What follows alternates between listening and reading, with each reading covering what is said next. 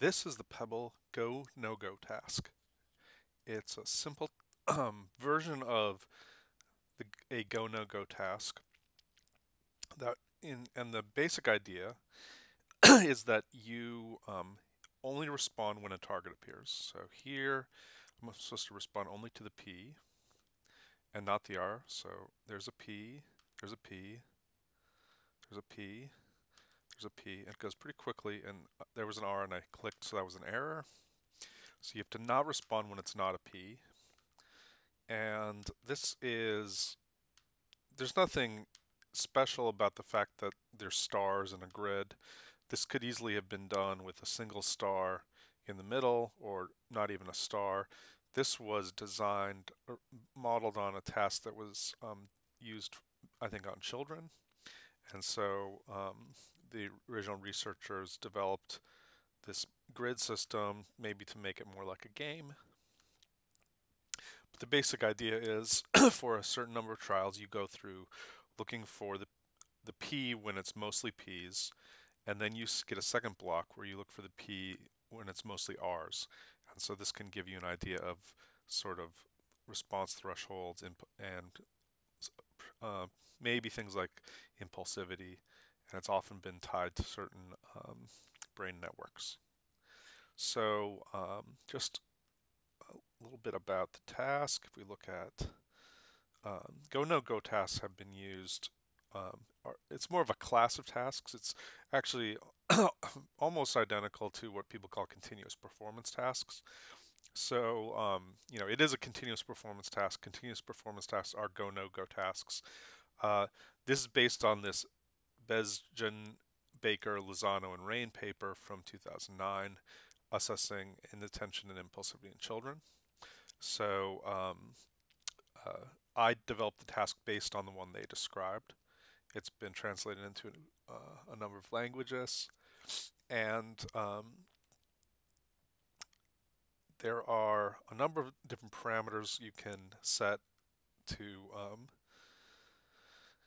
change how it works. You can so we let's look at that next. So this is available within the test battery under Go No Go, um, and if we look at some of the parameters with this edit button, by default, it will do 32 um, repetitions of the PR design. And the, the design, I think, is five trials, one P to four Rs or something like that. Um, yeah, well, four to one. So by default, the design is four P's to every one R. You could change this to make them equally likely, or you could change it to make them even more biased. And this will um, tell you how many um, repetitions there are. By default, it's 32. 32 times 5 is like 170. So that's about how many trials there are. Uh, 1500 milliseconds between each uh, stimulus, and because it's a go no go task, that's how frequently the stimulus comes up.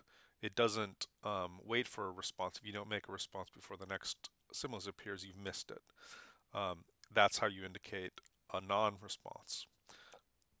So 180 times one and a half, you know, this is a three or four minute task. If you go through the whole thing, you could make it longer or shorter.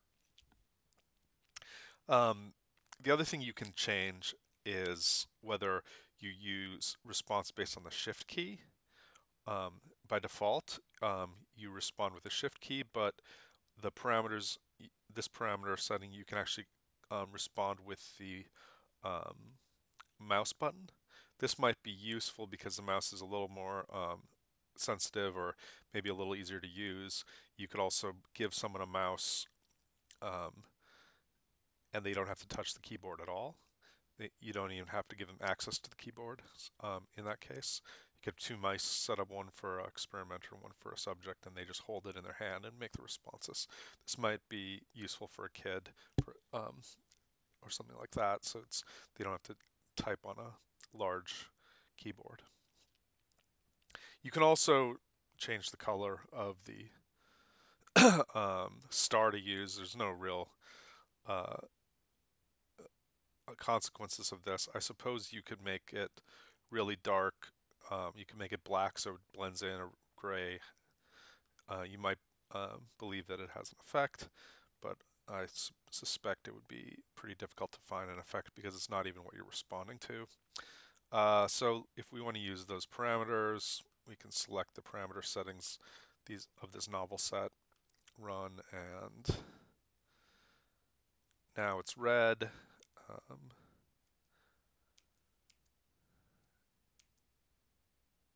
and so on.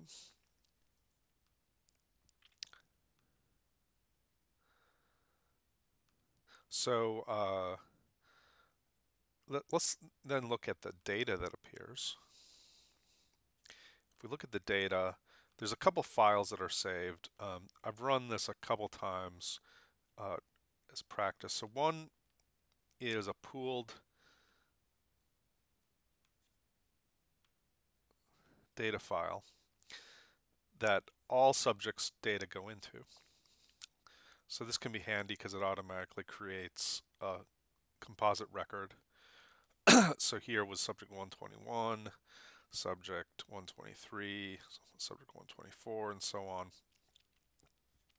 Um, the different columns, uh, well, for an individual subject, each of these will sa be saved in their own file as well. But I'll look at that in a little bit. There's also this log file um, that tells you times when things started and um, started and completed, round one, round two, round three, round four, um, and so on. So uh, the round one and round three are practice rounds, and round two and round four are the testing rounds. So you could help figure out when things um, were completed, how long they took, and, and things like that.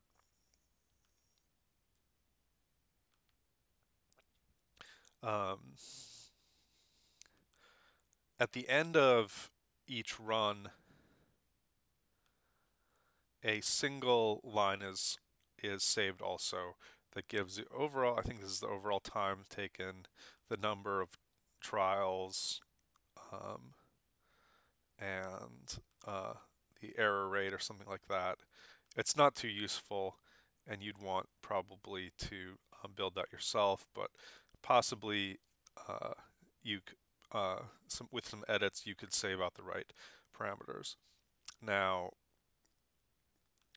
if we look within each subject folder in the data, um, there's going to be two files saved.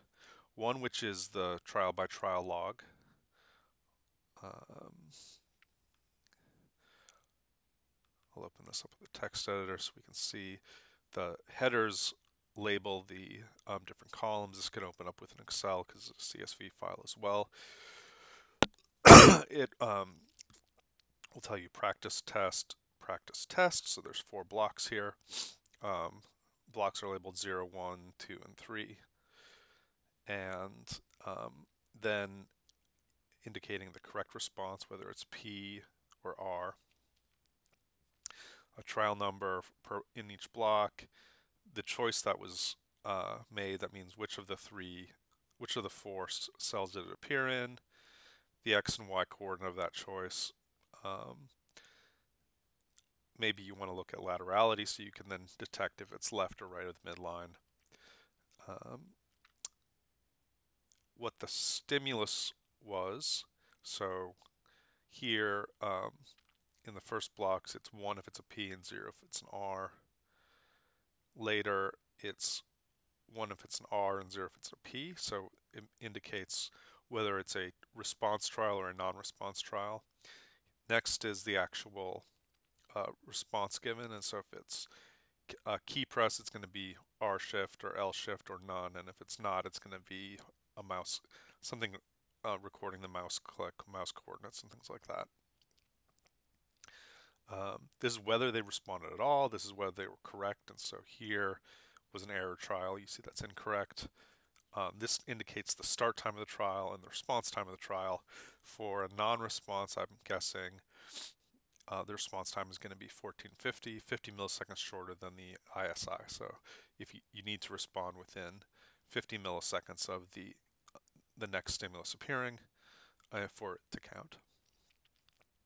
So that's some of the data, the raw data, and you could analyze this yourself using Excel or uh, custom scripts within um, within any stats package. But also, uh, a report is generated. This report is only generated once you complete the whole test. So if you end early, you won't get that. So the demos that I demo just showed that I didn't complete it, this won't be generated for. So this gives um, an overall number correct, number of errors, mean accuracy, mean error rate. But then also for each round it gives this. So round one, two, accuracy, round one and two response time. Um, this is excluding the practice.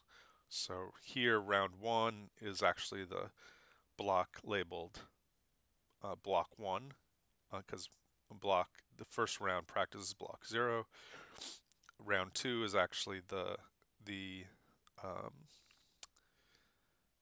round two accuracy and response time is actually the block labeled three because block two is um, round two practice. So here we can see um, for accuracy, uh, if you look at the P versus the R in each case, um, you can see mean accuracy here for P is 100%, R is 62%. Uh, on the 8, um, I guess on the 8 R's, that means um, I must have, I shouldn't have clicked at all, and I must have clicked two or three times. Um, similarly, on the P versus R on the second round, um,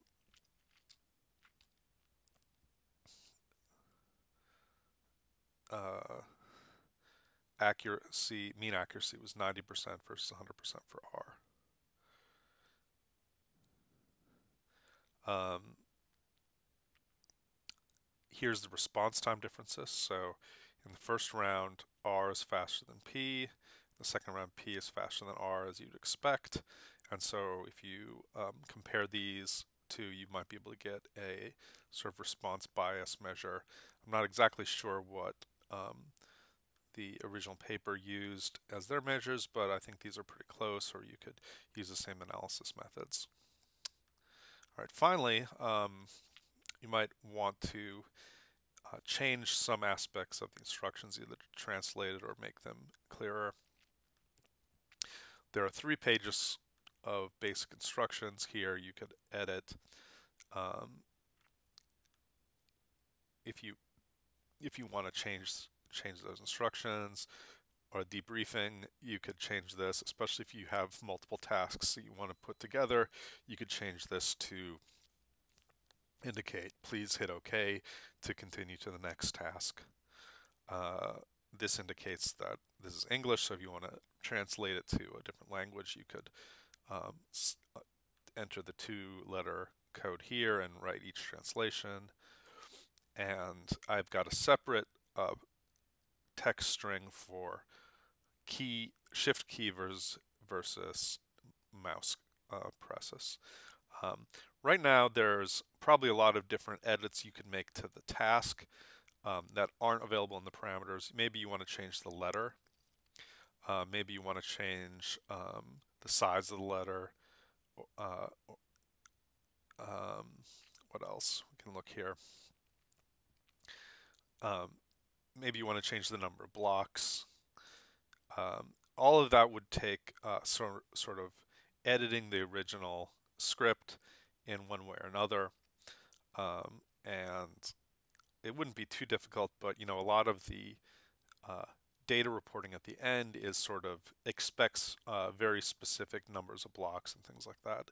So it would be, it would require, um, it would require trying to figure out and edit additional rounds or something like that in order in order to compute this. All right, finally, I just wanted to show uh, some of the research that uh, has been done with this type of task. Clearly, if you look at go no go task on Google Scholar, there are tens of thousands of of um, articles out there, and the task is very general. I don't think there's any um, real uh, consensus on what it means to be a go no go task, other than uh, it's any task where you either respond if it's the target you're looking for, or you don't respond if it's not. Um, these are often used, I guess, are used a lot in fMRI and neuropsychological testing and neuro um, these types of methods because they have a very fixed time structure, and so um, you know you know that the stimulus comes exactly every 1500 milliseconds or 20 seconds or whatever. Um, also, there's there are you know some things you can tell with uh, maybe ERP because um, you can look at maybe evoked potentials when people aren't making a response. So you can't see that they're not. You can see that they're not making a response, but you can maybe still detect sort of suppression of that response in those cases um, using ERP measures. Uh, within, uh, if I search for PEBL Go No Go, there's about 150 results. Um, these include, well, the original Be Bezdjian paper, which didn't use a PEBL version, um, and a lot of other things that maybe, you know, there are some of these which use PEBL along with other things. Uh, I think there's a few tests, like a few um, examples, maybe um, this one and um, Marco Moniz have um, used it to and published uh, normative data sets for children, looking at influence of age and attention uh, on this task. And so if you're using it in children, this would be a really good paper to look at to compare for a normative data set. All right, well that is the PEBL Go No Go task and it's available for free as part of the PEBL test battery. You can download this at pebl.sourceforge.net. Thank you.